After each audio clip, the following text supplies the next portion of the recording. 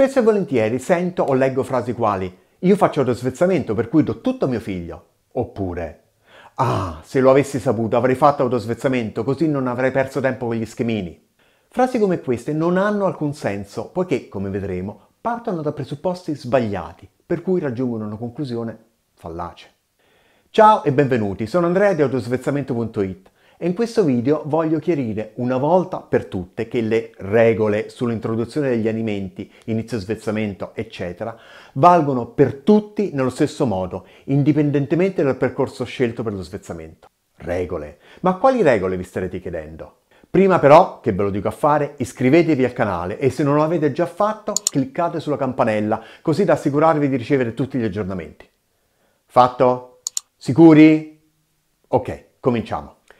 La confusione che molti fanno è di identificare un certo percorso con una serie di regole che valgono solo per quel percorso specifico e non per altri, e che i percorsi siano grossomodo equivalenti e interscambiabili.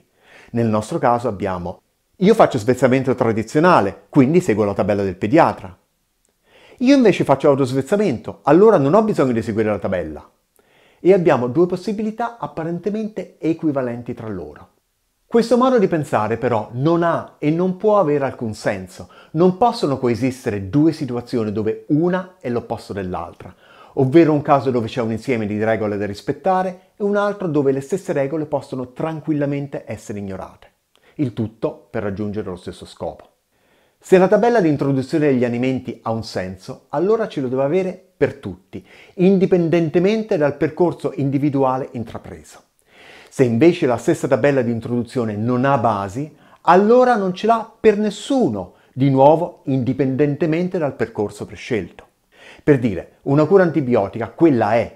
Non è che l'utilità dell'antibiotico possa essere più o meno valida a secondo che uno sia, che so, destro o mancino. Lo stesso vale per l'avvicinamento dei bambini all'alimentazione complementare. Le regole, se ci sono, devono essere le stesse per tutti. Dell'argomento della validità degli schemi ne ho già parlato e ho scritto fiumi di parole su questa cosa, per cui non mi voglio dilungare. Voglio solo reiterare che da nessuna parte di serio si troverà mai niente di così specifico e che somiglia alla classica ricettina che alcuni pediatri continuano a distribuire. Né esistono elenchi sensati di alimenti da mangiare prima o dopo, o di quantità, o di quello che volete. Uno può anche scegliere di seguire una tabella se lo fa stare più tranquillo, ma non ne consegue che questa abbia niente dietro. Per dire, esistono molti schemi di svezzamento e se questi schemi avessero un minimo di fondamento sarebbero più uniformi tra loro. Tra l'altro non dimentichiamoci che basta andare all'estero e si scopriranno schemi completamente diversi o anche un'assenza totale di schema. Vi ricordate il video che ho fatto sul baby food britannico? Se non l'avete visto ve lo consiglio. Vi dico subito che vi aprirà un mondo e lo trovate qui in alto o in basso nella descrizione. In altre parole, è assodato che non c'è davvero bisogno di seguire un determinato calendario di introduzione degli alimenti o di tempistiche di svezzamento, indipendentemente dal fatto che il bambino si svezzi da solo o meno. Ora vorrei invitarvi a riflettere sul modo con cui comunichiamo. Facciamo un esempio. Paola dice, sto seguendo questo schema, ma mi trovo proprio male. Francesca risponde, allora fai autosvezzamento, così puoi dare tutto. In molti, come l'ipotetica Francesca, trasmettono l'idea che l'autosvezzamento sia un qualche metodo magico che ti consente di svincolarti dalle tabelle di introduzione degli alimenti. Faccio autosvezzamento, quindi non seguo uno schema. Invece la domanda da porsi è se il calendario che Paola sta seguendo abbia un senso oppure no. Siccome sappiamo che la tabella di Paola quasi sicuramente non ha fondamenta serie, le possiamo dire di stare tranquilla e di rilassarsi, ma il tutto indipendentemente dall'autosvezzamento o da altre considerazioni accessorie. Frasi più sensate invece sono queste. Non do tutto al mio bambino perché faccio autosvezzamento, ma lascio che il bimbo si autosvezzi perché so che posso dargli tutto. Oppure, non è che seguo l'autosvezzamento perché così non perdo tempo con gli schemini, ma siccome gli schemini sono una perdita di tempo, allora lascio che il bimbo si autosvezzi. La differenza è chiaramente sostanziale, in quanto quello che cambia è il rapporto causa-effetto.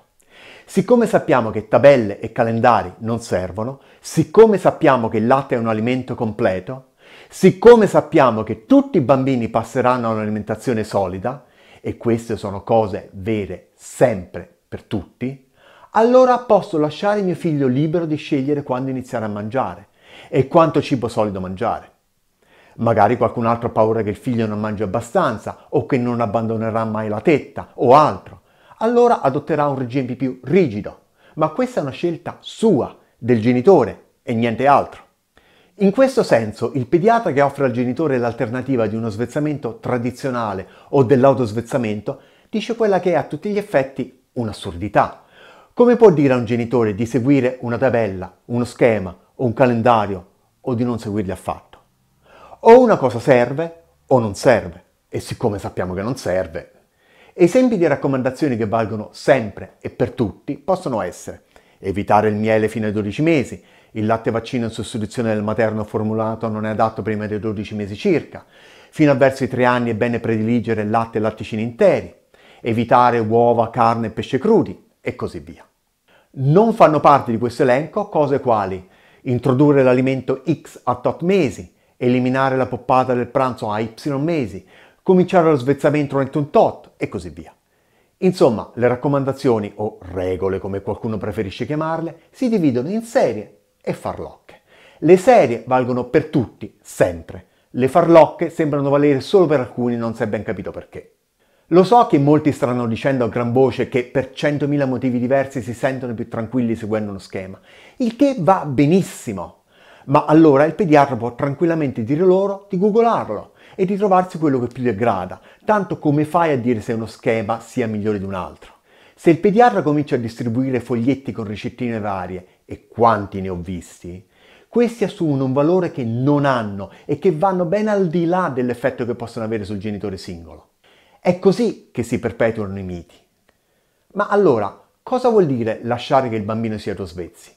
Un buon punto di partenza è rispondere alle seguenti domande. Chi decide quando il bambino deve passare i solidi? Sappiamo che l'autosvezzamento è un processo orizzontale, non verticale, per cui le poppate vengono piano piano sostituite dal cibo solido, non vengono eliminate una per volta, più o meno all'improvviso e arbitrariamente. Quindi chi decide è il bambino. Chi decide che cosa e quanto deve mangiare il bambino? Dato che non c'è uno schema di introduzione degli alimenti e siccome soprattutto all'inizio gli assaggi sono minuscoli, è il bambino a scegliere cosa mangiare dalla tavola condivisa con i genitori. Ecco la richiesta. Anche se si trovassero a mangiare cibo indiano. Dopotutto, in India, come fanno? Anche per quanto riguarda la quantità, sapendo che il cibo solido è solo un di più, non c'è proprio motivo di pensarci. In conclusione, il bambino non può mangiare tutto perché si svezza da solo, ma si può lasciare che si svezzi da solo perché può mangiare tutto, cominciando quando vuole e mangiando nelle quantità che vuole. L'autosvezzamento si identifica con l'atteggiamento che i genitori hanno nei confronti del bambino e delle sue competenze, nel fatto che il genitore riconosce che il bambino è competente, così come lo era quando veniva allattato esclusivamente, e che il processo di avvicinamento all'alimentazione solida è un processo naturale che richiede giusto un po' di buonsenso. Il menù, la presenza o meno degli schemi, il seguire o meno una tabella non c'entrano nulla. E a voi cosa hanno consigliato? Vi è stata proposta l'alternativa tra autosvezzamento e svezzamento tradizionale? Raccontatecelo nei commenti. Ciao e alla prossima!